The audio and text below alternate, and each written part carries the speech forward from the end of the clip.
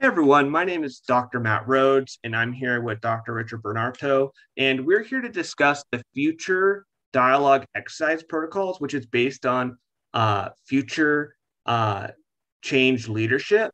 And we're going to discuss the protocols here so that you can learn how to model this with your team so that you can work with them to sort out a variety of different futures to a variety of different um, challenges that you're experiencing within your school and district.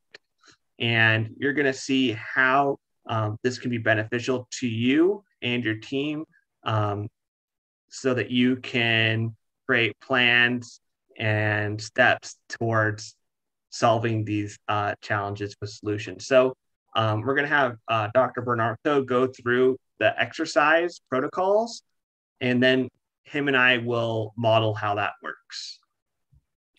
Okay, thanks, Matt. Uh, I'm, uh, I'm pleased to be able to present to you uh, what we call futures-based change leadership uh, processes. Uh, I want to emphasize before we go too, too far into this that uh, the scenario development process that we're demonstrating very quickly and very briefly is, is kind of an end product. It's what we call the third three-dimensional process that depends on two-dimensional futures-based thinking as well, which this article doesn't uh, talk about all that much as, as such, but we can talk to you about that in other ways up, up the road. Essentially, when, when you, you put a scenario together, you're really writing a story. In this case, you're writing a story about the future, how you think the future will probably be. And I need to emphasize that, that adverb, probable. We're talking about probable scenarios not necessarily preferable ones, not yet. And so, what a, a, the scenario development process does is enable you to really flesh out, get a third dimension on what uh, the issues that you need to consider.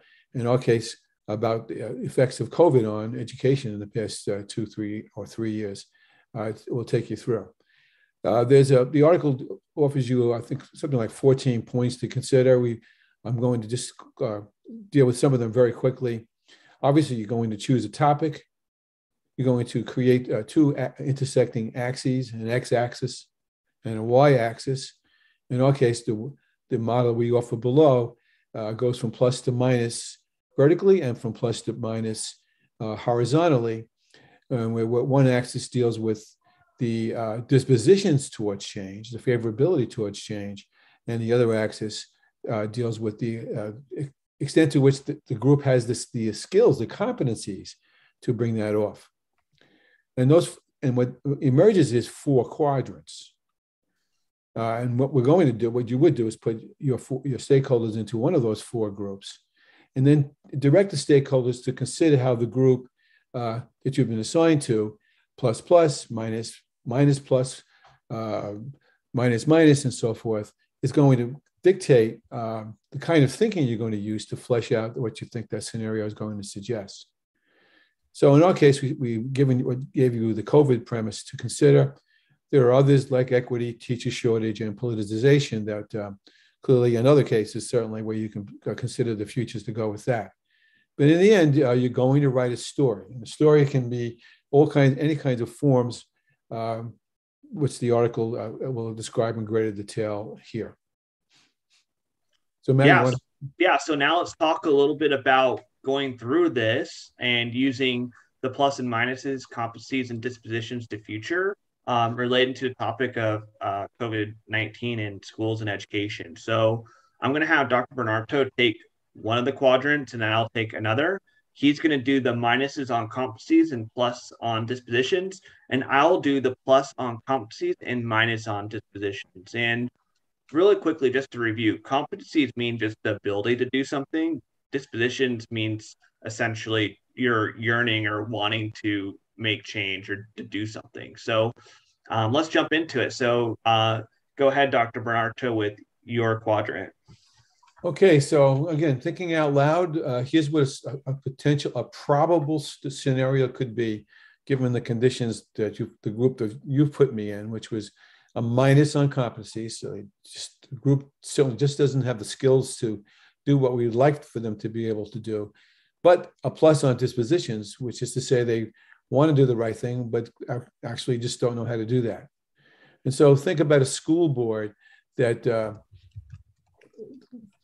think about a school board that wants to to create a group that's been hit with the uh, the COVID epidemic, pandemic, as we all have been, that's put enormous limitations and stresses on what uh, school systems can do to keep children educated, to keep them moving along uh, against the expectations of uh, of uh, the state education policies and of, the, of, their own children's needs as well as of societies. And so it's, it's very possible, uh, probable, I should say, that uh, they just don't know how to do this. In other words, the, the school board and the, the, leadership may have dropped the ball, in fact, did drop the ball on this, and didn't particularly prepare uh, its staff, its stakeholders, and, and even the children for that matter to know how to use technology uh, on the uh, in the online environment at home or in some sort of hybrid approach. And what's happened is that some students have computers, some don't. Some students don't know what to do with the computers that the school system's given them. And uh, in, in addition to that, most students haven't had any experience with this. Now, speaking of experience, that's also true for the teachers some teachers have, have, had some success with that, but most teachers have not consistently, uh, systemically been trained to do this. And uh, there's a lot of uh, floundering and uh, hand wringing and a lot of uh, consternation. On the other side of the coin, uh, everybody wants to do the right thing. Everybody wants to do the right thing by, by the children and, and by the teachers. And yet the ball was dropped because they really had planned a future for this they had planned, they had failed to plan against uh, any contingency that would require te- uh, children to be learning on home, or for that matter, they haven't been trained to plan for schools that may in the future not even meet all that often face to face as such.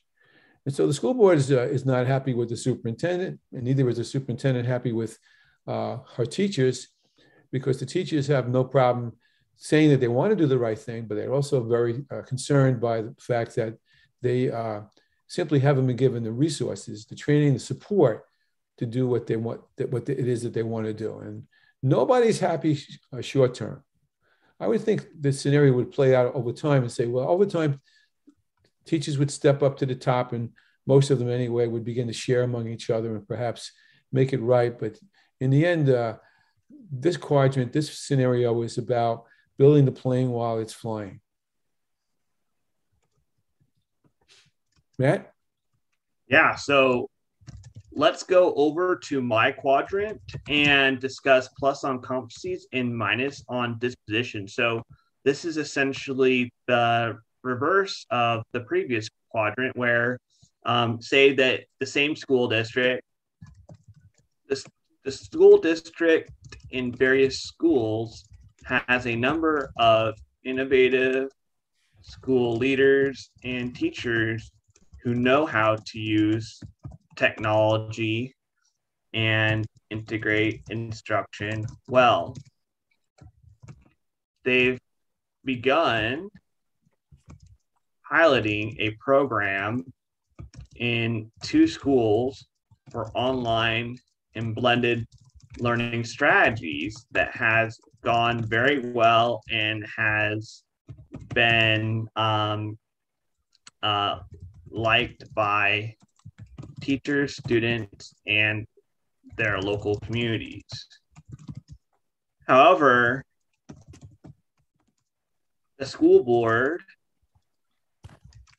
the superintendent, and a few other schools in the district do not want to incorporate the successful program because they feel it is not needed. Therefore, at the district level,